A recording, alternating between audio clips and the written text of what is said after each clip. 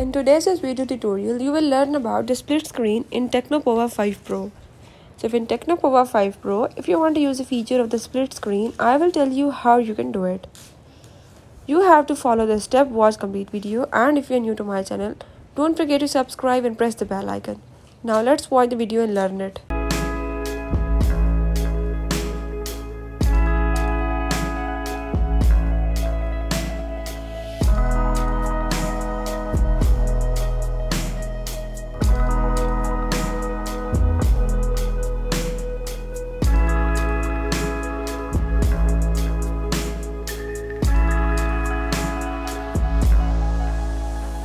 Thank you.